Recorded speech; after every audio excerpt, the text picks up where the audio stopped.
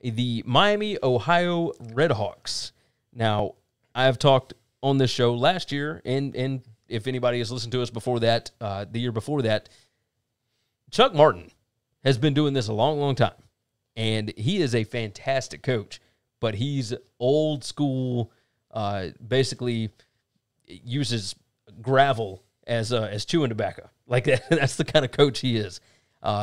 They are projected to go five and seven per SP plus, six and six per FPI. Returning production number eighteen in the country.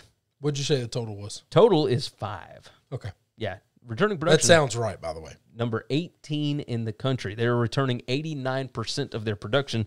Quarterback Brett Gabbert, of course, that's Blaine's little brother, uh, returns with all but two starters on offense, and they brought in running back Isaiah Bowser. Good old Northwestern boy. That's right. Defense returns 10 starters. They are really good against the run. They're really bad against the pass, uh, and they play a bunch of passing teams. True. The schedule is brutal. Their road slate is just stupid. At Kent State, at Ohio, at Ball State, at Eastern Michigan, at Army, at Minnesota, at Cincinnati. I don't think they win any of them. So I am going to go under. They are a projected favorite in only three games this year. Now, they have a good enough team to be able to squeak some of those out. Yeah, I was about to say they'll win more than three. They'll Yeah. probably win less than six, though. That's why I'm going under the five. Uh, the juice is minus 115 to the over and the under. So I'm going to take under five at minus 115. I want this team to be better. I, I like I I, like Miami, Ohio. I don't think they are, even with the returning production and whatnot, I don't think this team is set up to be able to compete with these other teams that throw it around as much as they do. Yeah, you're probably right. Man, I like Bowser. I'm I gotta go under though too. They're gonna have a hard time finding six wins. And I think that's their ceiling if they do. Yeah.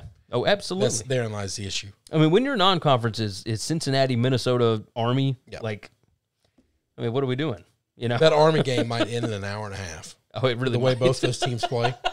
They don't do they never throw the football, they just run it and they're not gonna run out of bounds. Chuck This Martin and and uh, Jeff Monken are are two really crotchety old men. Yeah, if you've got if it. you want to make like like a dinner reservation, you're gonna make that reservation if you go to that game. game starts at five o'clock, we Yeah. got reservations at seven. Oh, We'll you're there. fine. Yeah, you'll be out of the parking lot by then.